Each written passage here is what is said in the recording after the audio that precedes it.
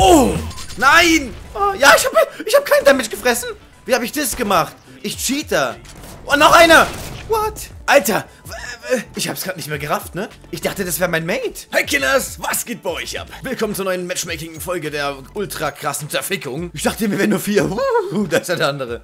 Alles klar, let's go. Ich muss ein bisschen Ansage, weil ich muss den Leuten sagen, wo hier sie gehen sollen. Die brauchen einfach eine Führung und diese Führung bin ich. Ja, der mit der Splashy. Guck mal, wie das, das Namensschild über die Waffe hinten rausragt. Unten meine ich. She.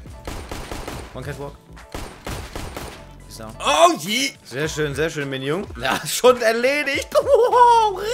Es läuft schon sehr, sehr gut hier am Anfang, aber ich will den Tag nicht vor dem Abend lohnen. Ich will nicht den Porzellanelefanten durch die Sackgasse in der Schuhschachtel mit der Oma, Großmutter schicken. Deswegen machen wir erstmal langsam, holen uns eine P90. Ihr wisst, die Global-Waffe schlechthin. Und wir gucken mal, was passiert, wenn wir nochmal auf A gehen. Ich hau den Decoy raus auf die Mitte. Das ist die Pro. Achtung, Achtung. Ah, genauso müsstest du schmeißen. Habt ihr das gesehen? Ach, so ungefähr. Damit es auch wirklich ankommt. Ne? Ich weiß, sonst ist dann genug Schwung dahinter. Wenn ihr so pussymäßig schmeißt. Das geht natürlich nicht. Na, ist klar. Keiner Catwalk. Alles klar. Einer ist Highway. Nice. Ist down. Nice. Oh, ich hab mir selbst nice gesagt. So läuft es, so läuft es. Ah, weißt du, so. Gut gemacht. Ah, war gut gemacht. Ich habe ja gesagt, ich mache heute eine kleine Aufnahmesession. Die letzte Matchmaking-Folge ist gerade eben entstanden. Jetzt ist schon die nächste. Ich habe es im letzten Video schon erwähnt. Das ist echt schwach, wenn man ähm, als YouTuber halt ja, nicht mindestens LE ist, sag ich mal. Oder man sollte schon LE sein, irgendwie. Naja, auf der anderen Seite, wenn man eben YouTube äh, und Twitch jetzt auch wirklich hardcore-mäßig betreibt, so wie ich es mache, man also praktisch nie spielt, außer wenn man aufnimmt oder eben mit Twitch zusammen spielt, mit den, mit den Zuschauern oder halt so Livestream, dann ist es echt schwierig, hier was zu reißen, weil man spielt ja immer nur kurz für die Aufnahmen und, und für die Livestreams. Aber selbst da kann man Skill rausziehen, sage ich. Muss man können und das mache ich auch. Das werde ich auch so machen. So, halt, halt, halt, bevor hier oben wieder einer campt. Das war letztens im Livestream so. Da haben wir ein Fear-Game gemacht und hatten dann auf einmal einen Feind hinter uns. Das war echt eine Schweinerei. Okay, so, jetzt können sie kaufen. Jetzt wird es interessant. Übrigens, Leute, eure Aktivität auf Instagram, Twitter und Snapchat ist echt abnormal. Was ihr mir da schickt, was ihr liked, kommentiert und hin und her, ist wirklich krass. Vor allem, was er mir auf Snapchat für geilen Scheiß schickt, das ist schon echt krass. Ich finde es einfach schade, dass Snapchat keinen Bestand hat, dass die Sachen weg sind. Weil manche Dinge sind einfach so edel, die könnten gerne stehen bleiben, ja? Es gibt jetzt auch wieder immer mehr Fanarts, die er für mich äh, macht. Vor allem Monsieur Face, du bist echt der Hammer, was du, was du da herzauberst. Das äh, wird echt eine geile Geschichte mit den Designs. Hier ist clear. Da war einer. Einer war Spot. Achtung, ey. Danke, dass du mir den Arsch schießt. Nein! Scheiße, was habe ich gemacht? Ich hätte die gescheit picken müssen. Egal, die Jungs holen den Win noch. Es sind nur noch drei. Ja, was da für geile Fanarts rumkommen, Leute. Ich muss demnächst wieder ein paar einbauen ins, äh, in die Videos. Hoppala. Vielleicht baue ich, vielleicht habe ich hier sogar schon eins eingebaut. Ich, ich weiß es halt jetzt nicht während der Aufnahme. Das mache ich ja erst im Editing One Main. Komm, easy, Mann. Nice. Oh Gott, richtig fett. Hat er gut gemacht. Und bei Instagram ist eure Aktivität der Überflieger. Ohne Witz, Leute. Bei Instagram habe ich bis jetzt am wenigsten Follower und Abonnenten. Das habe ich ja noch nicht so lange. Da sind wir, da sind wir jetzt, glaube ich, 82 Leute oder sowas. Und ich poste was, ein Video zum Beispiel jetzt, und das bekommt 40, 50 Aufrufe. Bei 80, 82 Followern oder so. Das ist einfach total geil. Wenn ich Fotos mache, kriegen die 20, 30, 40 Likes manchmal. Dieses Verhältnis zwischen äh, Abonnenten oder wie es da heißt und Ah! Zwischen Abonnenten und, und Interaktion ist unnormal hoch. Ich weiß nicht, warum das da so hoch ist. Was ihr da treibt, ist der absolute Wahnsinn. Es freut mich natürlich auch, dass die Sachen halt so gut ankommen bei euch, ne? Diese Clips, die ich da immer mal wieder drehe für euch. Ich habe Twitter schon ewig. Ich glaube, ich habe da 13.000, 14.000 Tweets, weil ich Twitter früher mit meinem YouTube-Account verbunden hatte. Das heißt, immer wenn ich ein Video hochgeladen habe, immer wenn ich was, ich glaube auch wenn ich was kommentiert oder geliked habe, kam ein Tweet automatisch. Das habe ich vor zwei Jahren irgendwann rausgenommen, weil ähm, ich hatte mich gewundert, warum da niemand aktiv ist. Ich war ja selbst nicht aktiv auf Twitter, aber ich hatte mich gewundert, immer mal wieder habe ich reingeschaut, es kamen keine Likes, keine Kommentare, nichts. Und das war ja reiner Spam, was ich da betrieben habe. Also unwissend, theoretisch äh, oder ungewollt. Und ich habe dann, als ich diese Erkenntnis gewonnen hatte, die Verbindung sofort rausgenommen, die Verknüpfung. Jetzt kommen dann natürlich nur noch ausgewählte Sachen, also eben meine, mein Leben, na, mein Leben. Und es ist einfach so edel, dass ihr daran teilnehmt oder teilhabt an diesen Sachen.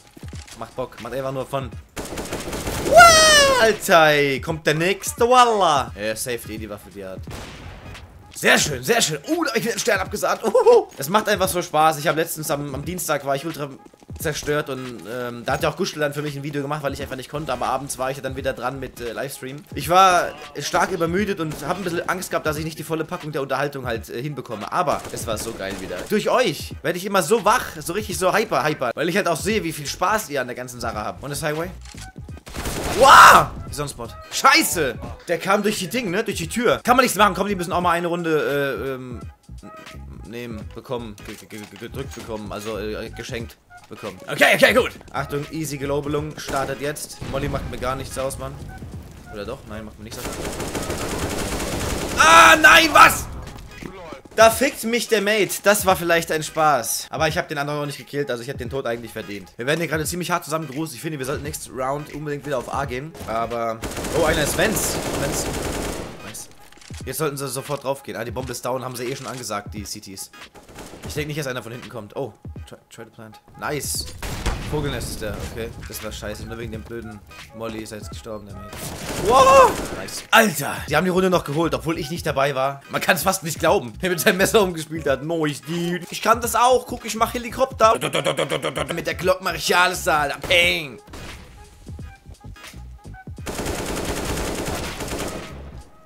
Gott! Gibt's das? Ich schieße und oh, da links ist einer. Ich muss ein Stück zurück, kill den einen. Soll ich kurz blenden oder den killen? Den kill ich noch schnell. Und dann kommt er in der Sekunde und fickt mich. Alter. Naja, okay, die Runde haben wir ganz klar abgegeben. Ich will jetzt recht schön den Deckel zumachen, weil gerade die letzte Folge auch schön, äh, ich sag mal, mittelmäßig kurz. Ja, nicht wirklich kurz, aber sowas ist halt viel angenehmer zum Schneiden. Jetzt, wo ich wieder Vorlesungen habe, ist es schwierig von Ventroom.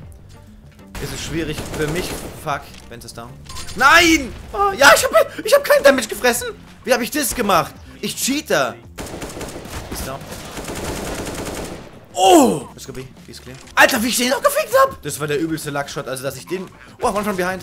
Nein, nein, nein, nein, nein. Oh, nice, Jungs! Ich bin gerade der dreckigste Lacker der Welt. Ey, ohne Witz. Ha! Weißt du, jetzt hätte ich die Granate gegen die Wand geworfen und mich selbst gekillt. so nice, Leute. Die Runde war so verschissen nice, Mann. Alter Verwalter, ey. Mid got a tit hit. I hit him in the tit. Ah, one is mid. Jungs, noch Hilfe! Thanks. Gott, fuck, Mann. Ach, du Lutscher.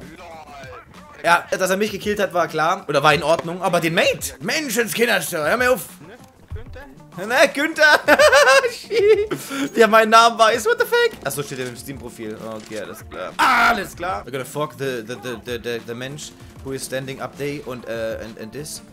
And this, and wie ich ihm einfach den Kopfschuss des Todes verpasst. Scheiße, wo ist der? Hab's nicht verstanden. Der, oh, der, oh, oh. Einfach mal angeneift, Drecksack. Labrador, Labrador. Die Matchmakings machen einfach am meisten Fun. Ich glaube, das ist auch so bei euch, dass der Content, der fast am besten ankommt. Die Overwatches sind gerade so ein bisschen drüber über den Matchmakings.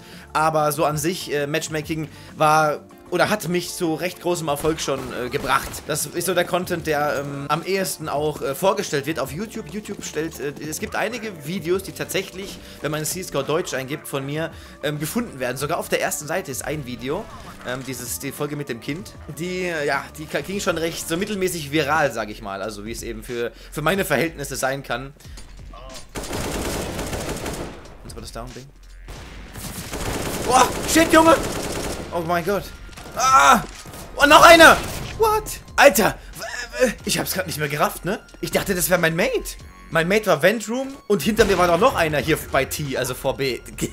Wo kamen die ganzen Cities her? Es war auf einmal ein City da oben im Vogelnest und hinter mir. What the fick? Wieso mich einfach total totgefickt haben, die Schweinepriester, Alter. Hier könnt ihr gerne mal einen Daumen nach oben geben für die Gegner. Wie krass. Wie hat er sich an meinen Leuten vorbeigedrückt? Oder war hinter mir niemand? Ich raff's nicht. Ich raff's nicht. Night Fever, Night Fever. Ich mach euch alle tot. Brauchst du noch was zu essen oder was, Monsieur? Nee, der hat doch. Er ist immer am Anfang kurz AFK. Der schüttelt sich immer noch kurz ein, so auf das Rundenende, wenn wir mal gut geholt haben. Fängt da an, sich ein bisschen zu shaken und dann hört er. Nee, sag mal, was macht denn der immer noch am Spawn? Alles. One Highway habe ja auf HP. Es war klar, entweder gebe ich ihm den Header oder er mir. Er hat einfach Glück gehabt. Ich habe unglaublich schlecht geschossen. Das wäre eigentlich der easy Header geworden. Sofort schon mit dem zweiten oder dritten Schuss. Und ich mache achtmal. Peng, peng. Aber wir sind gut. Und wisst ihr, wisst ihr, woran das liegt? Ich habe letztes Mal gesagt, äh, liegt nicht an mir. Doch ein bisschen. man sieht, die Punkteverteilung und die Killverteilung ist bei uns relativ gleichmäßig. Ich habe letztes Mal drüber gesprochen, dass man eigentlich auf sich selbst gucken muss. Oh fuck, ich habe meine Deagle geholt. Egal. Ja, man soll nicht immer sagen, das Team, das Team, das Team. Natürlich ist das Team sehr wichtig und es kann auch einfach sein, wenn das Team gut gut ist. Aber jeder kennt diese Spiele, wo man selbst recht schlecht ist und man sich sagt, geil, Mann, zum Glück haben wir diesen Carryboy gehabt, diesen mit 40 mit 40 Kills, weil ohne ihn hätten wir nicht gewonnen und man muss selbst zu diesem Carryboy werden. Egal ob Smurf oder nicht, scheiß darauf alles drauf. Ich habe schon in, in LEM-Lobbys gespielt, ich meine, ich war auch LEM. Das war Kiki, also nicht Kiki-Kiki, klar, im Vergleich zu Silver-Lobbys ist es natürlich ein riesen, riesen Unterschied. Aber ich finde, der Unterschied wird, er fühlt sich zumindest immer geringer an und vor allem, wenn es nur ein oder zwei Spieler sind, die so extrem gut sind und nicht die, die ganze Mannschaft. Weil ich halt immer wieder geschrieben bekomme, ich habe mit CSGO aufgehört wegen den Cheatern und, und Smurfern. Also Leute, bitte, das ist ganz schön, äh, ganz schön lächerlich, wenn ich sowas lese, ja. Ich habe in meiner gesamten CSGO-Laufbahn mittlerweile habe ich, ich weiß nicht, wie viele Spiele schon gespielt, ja. Da habe ich ein einziges Mal einen dabei gehabt, wo ich gesagt habe, oh, da würde ich jetzt aber, den würde ich jetzt aber gerne reporten. Einmal. Ein einziges verschissenes Mal, ja. Und sonst nie. Und Smurfs habe ich gefühlt noch nie gehabt. Ich sag immer, oh, der ist gut. Natürlich ist es unfair, je krasser der Unterschied ist ja, zum eigentlichen Skill. Wenn jetzt ein LEM in der Silver Lobby spielt, ist es schon echt fies. Für mich war dieser Unterschied nie so extrem, weil ich halt auch einfach, ich wurde mit Doppel-AK eingerankt. Ich habe schon immer CS gespielt. Ich meine, ich bin jetzt nicht die, die krasseste Kackwurst, wisst ihr, ich meine? Ähm, wenn man einen Silver 1 spielt, der sieht, der wirklich, wirklich, wirklich Silver 1 ist, ja? Da denkt man sich, wow, wow, wow, wow, wow, wow, als hätte dieser jemand noch nie ein Computerspiel gespielt, noch nie einen Shooter gespielt.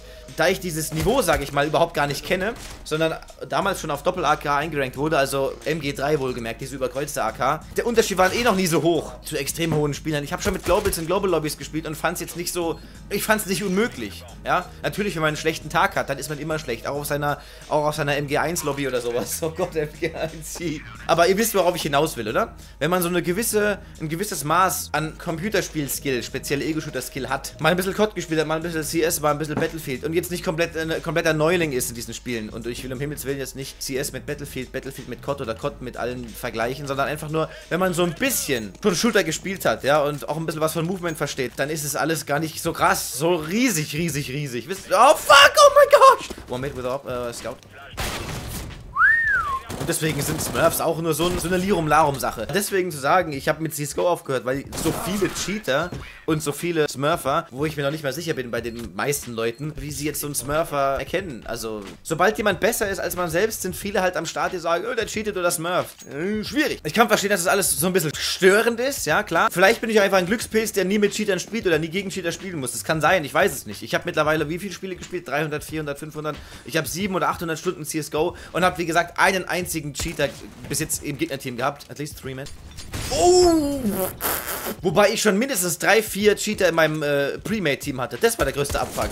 Ey, A2, warum ist Das war ärgerlich, weil ich dann nämlich jedes Mal meinen Rank verloren habe. Er duckt sich in dem Moment, wo ich Jetzt habe ich mich geduckt und äh, die Duckung hat nicht geholfen, ne? Ja, ja. Hab, habt ihr im Griff, Jungs. Habt ihr im... Scheiße. Soweit, äh, so gut. Das wollte ich mal kurz ansprechen, weil, ähm, ja. Einfach aus Gründen. Ah, ich hätte mir eine Orb holen sollen, nicht Dummbatz. Übrigens, die Gewinner vom äh, Graffiti Giveaway sind folgende 20 Leute. Wambonaut, Senpai David, Green Arrow A, Blee 1337, Judo, Kameradenschwein Freddy, Bayovarus, BSV AG, Hard Tech, Mr. Adrian III, The Russian Comedy, Dinkel Dirk CSGO and more, Ego Leipzig, The Real Life Trick Shooter, Hirnplacebo, Bacon, Friendly Fire und Thorsten Paulik. Bitte meldet euch einfach kurz hier unter diesem Video einfach so, oh, ich habe gewonnen, wow. Wir sind dann im Gespräch. Da tauschen wir uns dann kurz aus, damit ich euch halt das Graffiti schicken kann. Ja, viel Spaß mit den Graffitis an die Gewinner. Da muss ich mal direkt eins pimmeln. Ah, ist das eine Chair Rip, Das mache ich immer, das ist der Rip. Mhm. Okay, Jungs, da liegt eine M4. Für wen liegt die da? Für ihn. Er hat sie weggeworfen, alles klar. Ich muss jetzt mal schauen, ob die Orb, geht die Orb vielleicht Mitte? Ja, nice. Gut, dann kann ich auf A gehen. Sehr schön. Ich hasse es eigentlich, äh, auf Mitte zu gehen. Mitte ist was? Moment. Nein, nein, nein. Wenn ich anfange zu sprayen, ist es einfach immer so in meinem Kopf. Warum, warum? Was machst du? Was machst du? Was machst du? Drück ihm doch einfach einen Headshot. Aber nein, ich fange an zu sprayen wie so ein Dummbock. Eine Eco, Jung. Ah, ne, halt, der hat eine Orb. Komm, dann müssen wir jetzt ein bisschen pushen. Jungs, hier schön forcen. Ja, vor allem du. Wiggle, wiggle. Fuck, ich springe einfach, Alter. Geil, Mann. Was hat ein Kim für ein geiles Bild? Das ist doch der Kim. Ah, Mensch, hey. Ja, B, lassen wir. Oh mein Gott. Oh nein. Habt ihr das gesehen? Beide Mates waren kurz unachtsam, haben weggeaimt oder waren eben im Laufen und dann kommen die, die Tees um die Ecke. Einfach so ultra lucky. Das gibt's doch gar nicht. Ha! Eben B durchgepusht oder an, angepusht, kommt sicherlich gleich wieder zurück und versucht die Bombe zu picken. Ich werde mir gleich die Orb holen, die ist perfekt für Mitte. Ne, das ist eine Scout? Ach komm. Erstmal die Nate auf dem... ich frage mich, was ich ihm gegeben habe eben, ne? 50 in 1, der hat voll die Ding gefressen, die Nate, ne? Die ich da reingeschuckt habe. Die hat da richtig schön ge gefuttert. Ja! Ich habe ein Graffiti bekommen. Alter, krass, was ist gerade was gerade rausgekloppt wird. Leute, der nächste mittelmäßig gute Sieg. Ich war schon wieder in der Mitte. Im Spiel davor war ich auch in der Mitte. Ich würde sagen, für diese krasse Runde kann man schon vielleicht, na, ihr wisst schon. Alter, das ist so scheiße schön. Vielen Dank fürs Zusehen. Macht's gut. Bis zum nächsten Mal.